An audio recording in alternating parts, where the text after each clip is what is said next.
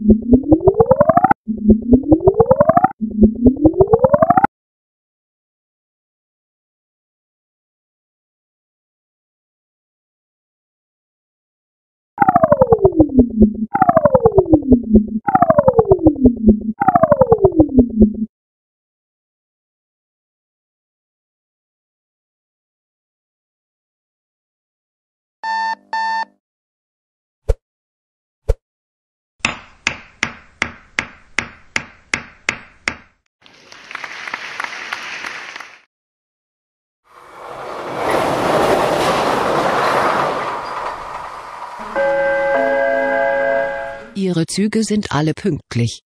Danke, Retag.